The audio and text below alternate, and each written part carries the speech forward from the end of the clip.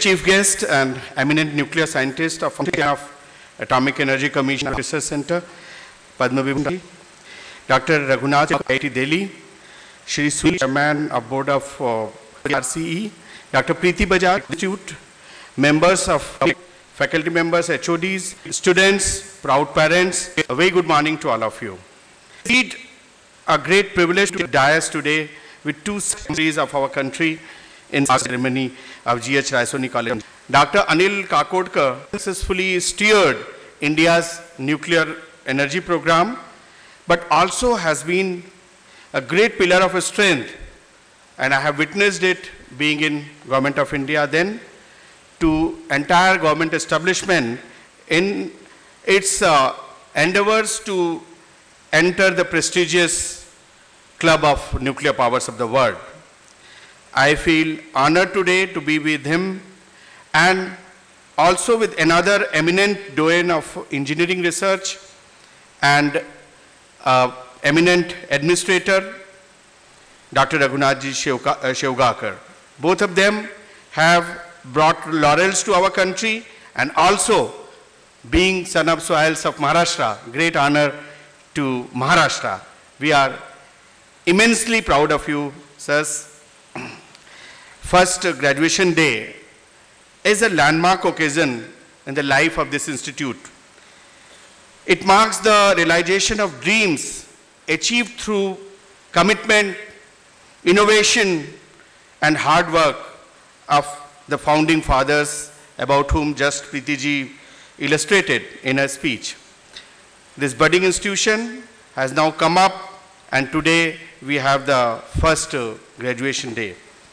My warm greetings and congratulations to all the graduates with special word of compliments to those who would be receiving awards today, awards and medals, and to those who may not have won it today but who are going to win the same medals in the future.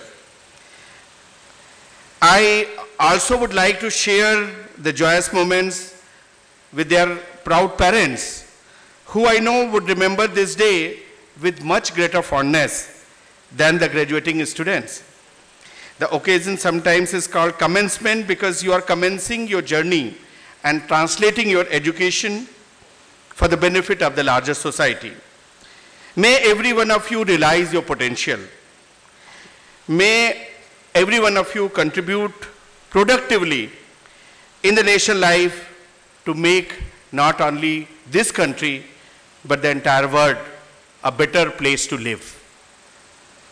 Today is a moment of pride for all of you as you have graduated from this prestigious GH Raisoni College of Engineering, which is a leading technical institute of entire central India. This institute has achieved very good recognition for quality and innovation in a short span of time. It is one of the proud assets of Rashtrasanta Tukadoji Maharaj Nagpur University. Autonomy of institution is very closely and directly proportionate to quality education and quality comes after consistent efforts and after adopting benchmark practices. Today's teachers and students have to come out of the conventional education practices.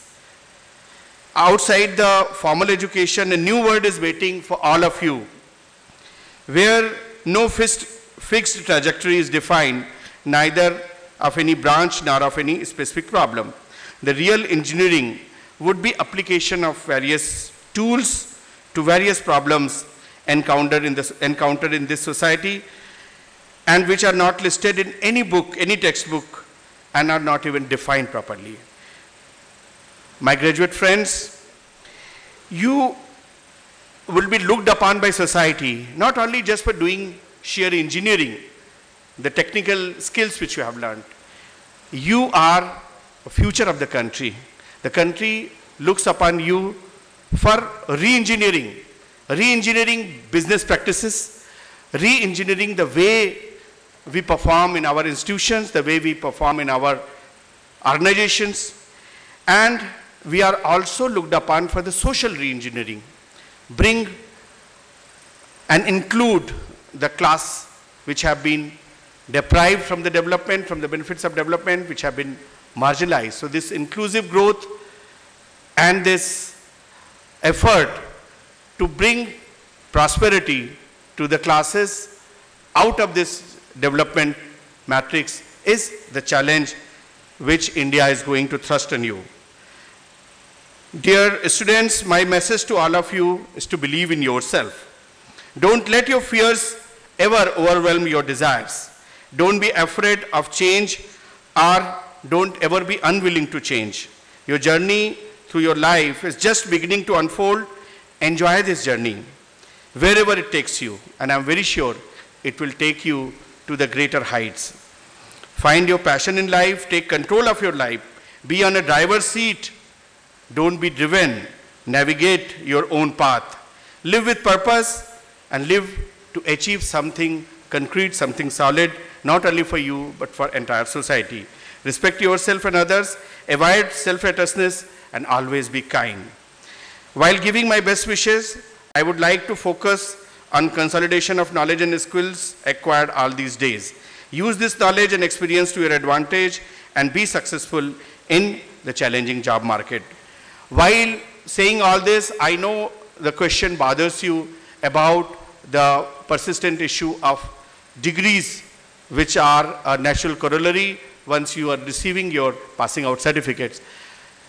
I have taken over recently. I can only assure you that I will do my best to resolve all the issues and get the degrees conferred to you as early as possible. Before I conclude, I would like to once again congratulate the Institute and all the faculty members and HODs in general and the director Preeti Bajaj and the chairman BOG Sunil Raisoni in particular who have very nicely concept conceptualized the entire event and made this graduation day possible. Thanks to all of you. Thanks for being good audience. Jai Maharashtra. scientist, guide and mentor, Dr. Kakodkar, Honorable Vice Chancellor of Rashtra Sant Tukadoji Maharaj University, Nagpur, Honorable Chairman, Board of Governors, Sri Sunil Raisoni ji, Director of Raisoni College of Engineering, Dr. Preeti Bajaj, all the members of the Academic Council, members of the Senate, all dignitaries present for this graduation day ceremony, faculty, staff, students, their parents, ladies and gentlemen. I am indeed honored and delighted to be amongst you on this very special and auspicious occasion, the first graduation day ceremony of GH Raisoni College of Engineering. Graduation day is a solemn occasion in everybody's life. My hearty congratulations to all graduating students for achieving their goals of getting an engineering degree. I also congratulate the parents of the new graduating students for their sacrifice and never-ending support to their wards. The faculty also deserves a word of praise for transforming a raw material into a finished product. Although the students entering in engineering education are of good academic quality, without proper training and mentoring, their potential cannot be realized. The faculty selflessly carries out this job of creating tomorrow's technocrats, engineers in the professional field. After getting autonomy, Raisoni College of Engineering has modified its curriculum to meet the standards of Washington Accord. And many of you might be knowing that very recently, just two weeks ago, the India has become the permanent signatory of Washington Accord. This is an indication of the quality consciousness. I congratulate the college authorities for this very important step. The graduating students will realize the importance of this step when they get into the professional world. The research, publication, and the overall growth of the college is highly commendable. Now let me talk to the graduating students. Normally in the graduation ceremony, it is expected that we address the students and give them a word of advice. Somewhere I have read a very interesting quote. A bird sitting on a tree has no fear of fall, not because it is sitting on a solid branch, but because it has faith in its wings. The high quality education is your wings. And now you have no fear of falling while gliding all over the world. Let us not confuse between the education and the course content. The education is combination of logical reasoning, analytical and experimental skills, professional ethos, time management, and many others. You may forget the content which you got in your curriculum, but the education will take you forward irrespective of your discipline and work environment. Every young mind is full of curiosity. It has a fire to do something in the world. It is also sensitive towards its surrounding. However, as we grow old, the external factors suppress this curiosity, reduce the sensitivity. Let this not happen to you. The knowledge is infinite, but quickly in today's world, this whole knowledge is available to you at the quick click of the computer mouse. The graduation is not an end of education, but is a gate to this vast knowledge which is still to be acquired. Remember, the knowledge always makes you humble, sensitive, polite. More you acquire knowledge, more you will realize how little you know. The knowledge needs to be used for welfare of the humankind.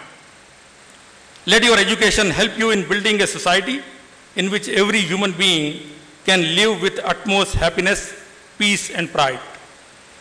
Always remember that first you have to be a good citizen. The other things will naturally follow. Higher education is the key to the national development. There is no shortcut to the success. Hard work and dedication only can give you a sustainable success. Whatever you do, do it with happiness and full commitment. I can assure you that you will achieve what you desire. Now let me come to the engineering education. Engineering and technology is very important for the advancement of the country.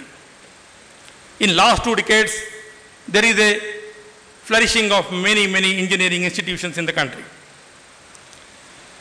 Large number of engineering colleges have come across the country. Engineering discipline has become the most preferred destination for high school graduates. Indeed, it is a good sign. This is going to contribute to the growth of the nation. State of Maharashtra alone probably produces number of engineers equal to that produced by the entire Europe. So number-wise, India is the highest engineering producing country.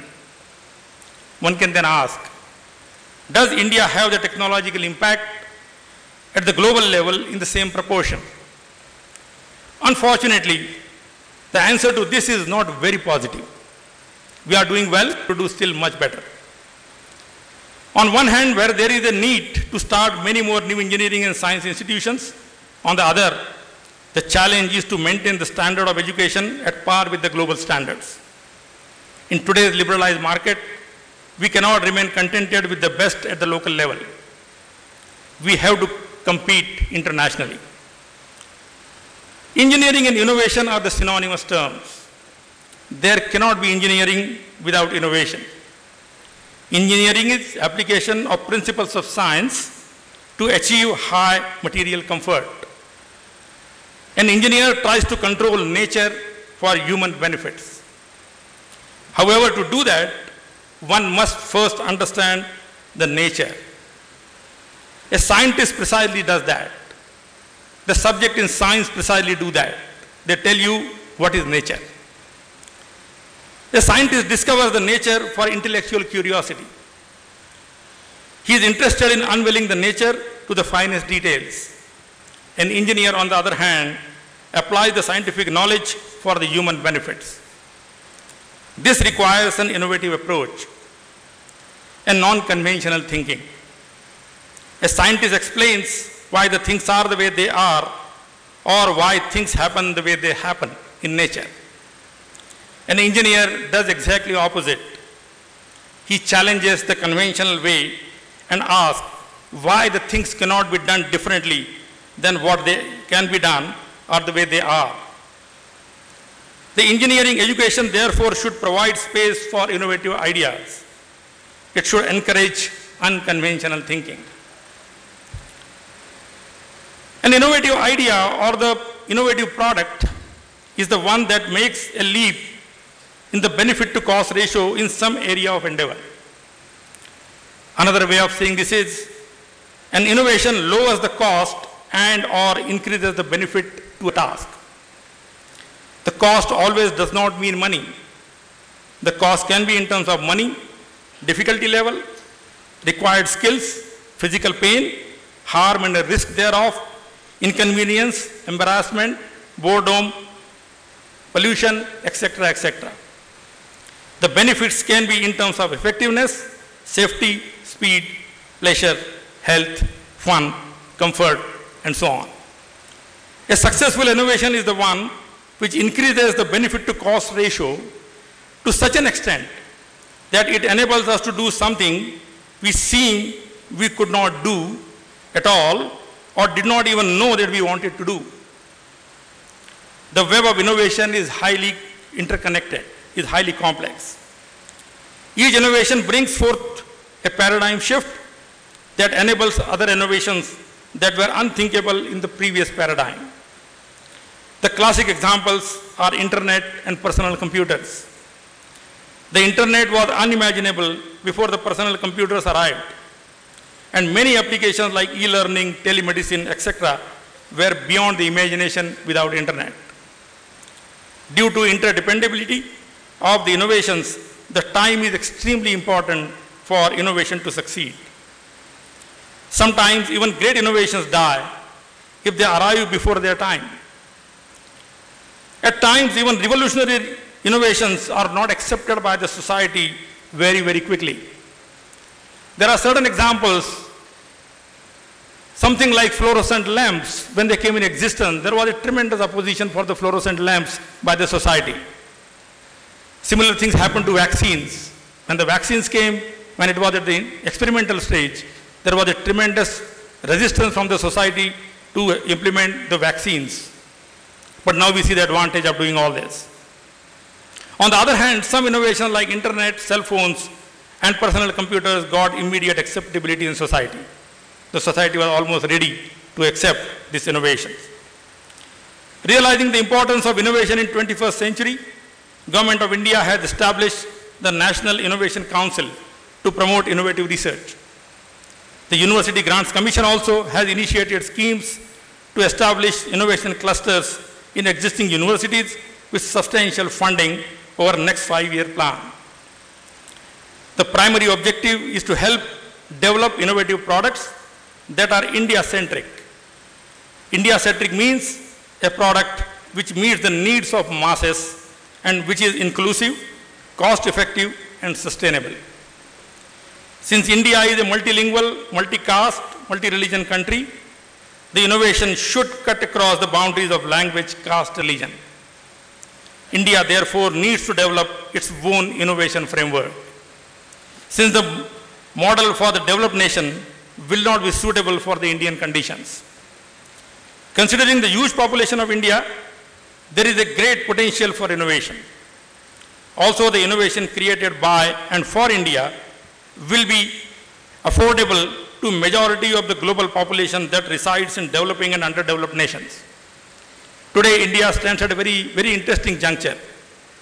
20% population of the world, development-wise, is above India, and 80% population is below India. So India can become role model for the 80% population of the world if we really do right innov innovation.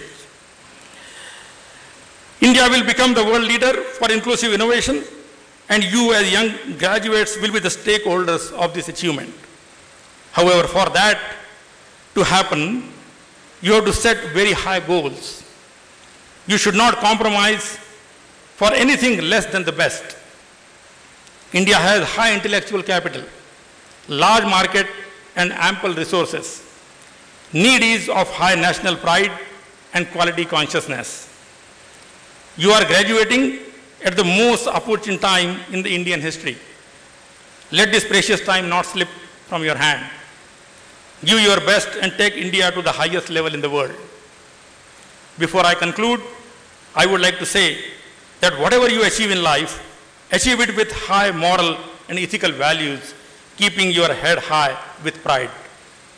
May come what, do not compromise your value system. March towards your excellence and make your alma mater proud of you. Once again, a very hearty congratulations to you and the best wishes to all your future endeavors. My best wishes to Raisoni College of Engineering for achieving highest standard of engineering education in the years to come. Thank you very much. Jai Hind, Jai Maharashtra.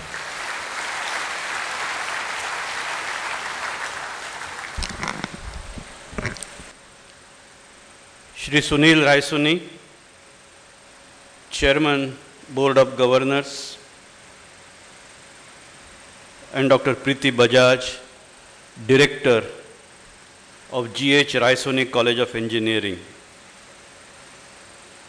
Professor Shevgaonkar, Director, Indian Institute of Technology, Delhi. Commissioner Nagpur, Shri Anup Kumar, Vice Chancellor, Rashtrasant Tukdoji Maharaj, Nagpur University, members of management and academic bodies of the college, distinguished invitees, members of faculty and staff of the college, dear students, especially those graduating today, parents present here, ladies and gentlemen. I am indeed very happy to be here to take part in the first graduation ceremony of GH Raisoni College of Engineering. Today also is the Founders Day of the college. Let me offer my compliments to all of you on this occasion. From what I have learned, this college has distinguished itself by its high level performance and is contributing to human resource development in engineering and technology. Contemporary India, already the third largest economy in the dollar purchase parity terms and set to become the youngest or, or set to become the largest young population in the world urgently needs to raise its innova- innovation as well as engineering and technological potential to move further in the present day highly competitive knowledge economy. We have to capitalize on our human resource to be able to do that.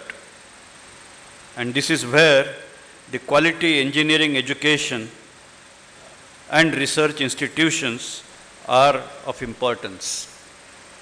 I compliment GH Raisoni College of Engineering for playing their role in this important task. My congratulations to students who are graduating today. Some of you who are being specially recognized deserve our highest appreciation. All of you have gone through your respective courses of studies and have been adjudged to be worthy of the degrees that are being awarded to you. You are now ready to face the exciting world out there.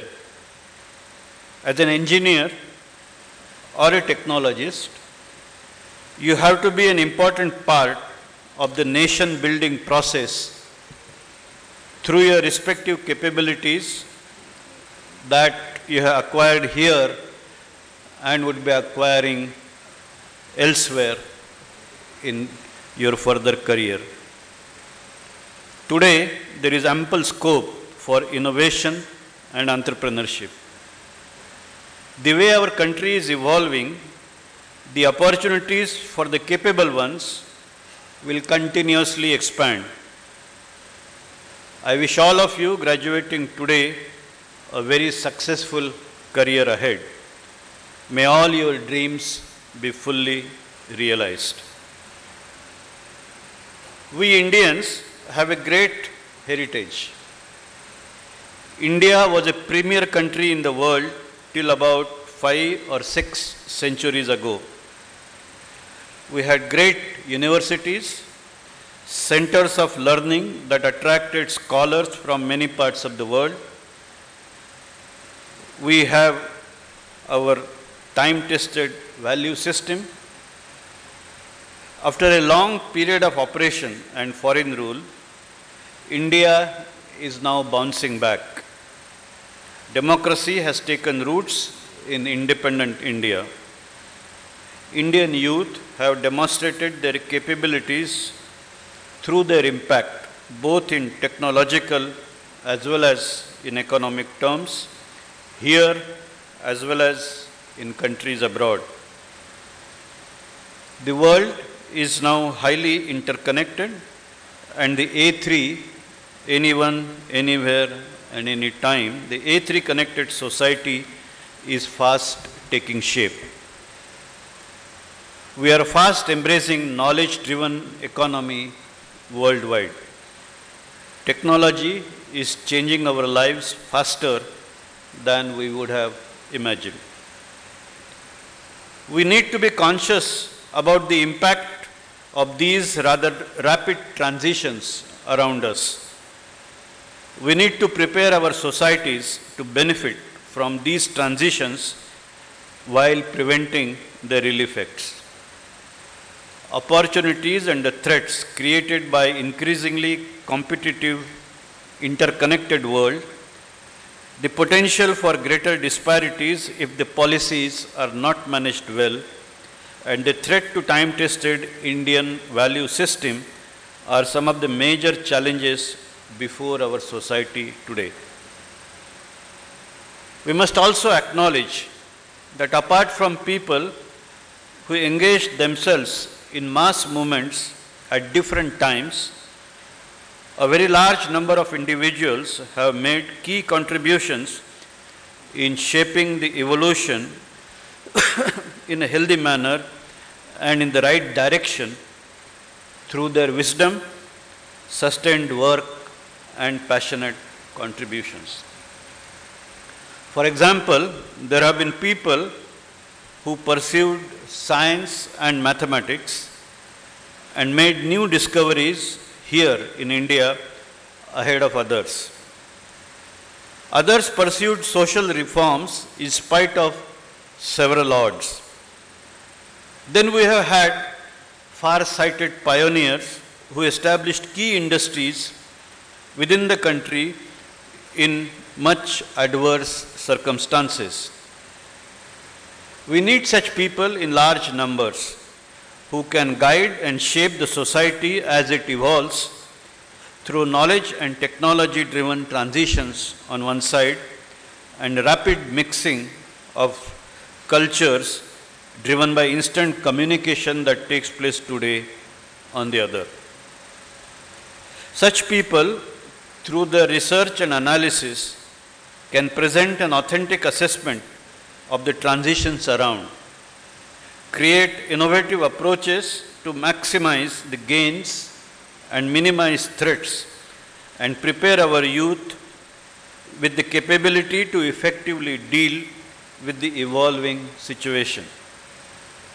The very fact that Indian traditions and culture have survived through centuries of external influence gives us the hope about our societies responding correctly to the changing paradigm. Institutions of learning have a special special role in this regard. This is even more important in the context of technology institutions in today's context. All of us have the opportunity to be a part of people, both by our, ours as well as through the students whom we teach and mentor. Through our teaching, we should be at the frontiers of knowledge. Through our research, we should push the frontiers of knowledge. Through development of technologies, the cutting edge, through nurturing a spirit of innovation and entrepreneurship, and with strong commitment to our time-tested value system, we have the opportunity to be an important part of people who can shape the destiny of our nation. We all must resolve to make that happen through our respective pursuits of scholarship, research, and engagement with the society and industry around.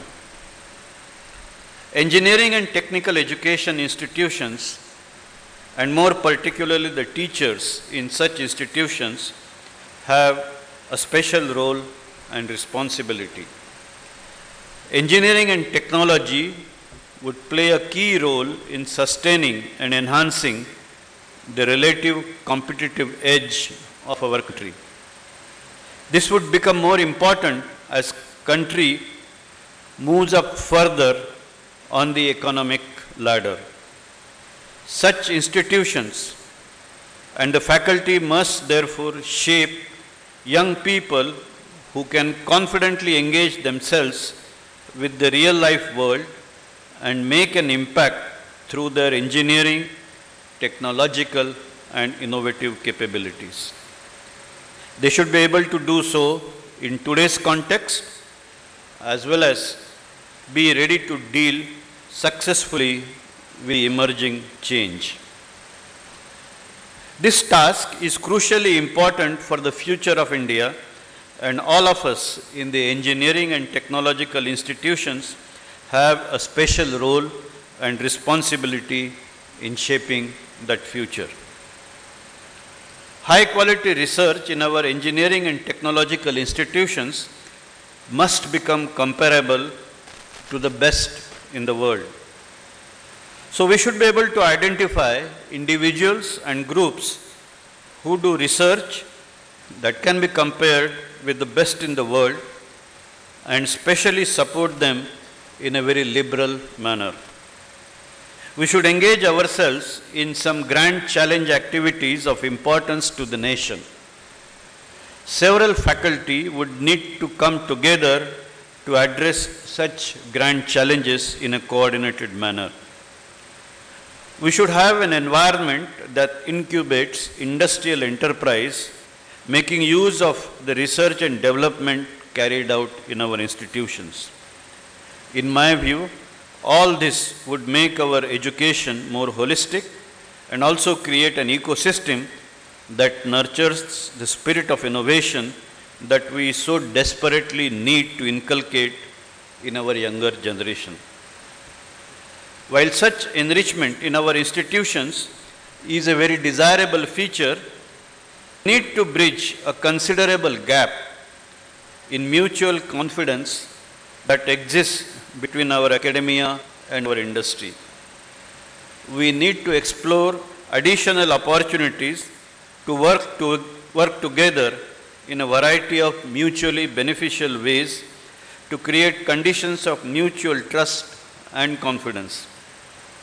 Considerable credible work is necessary to create confidence on part of one side to invest in the other. We need to reach a condition wherein both sides see a win-win situation in working together. As we engage with the industry, we should also explore opportunities to engage in R&D of relevance to the society.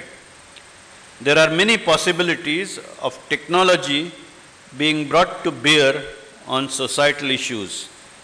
This is of particular significance in the context of agriculture and rural development.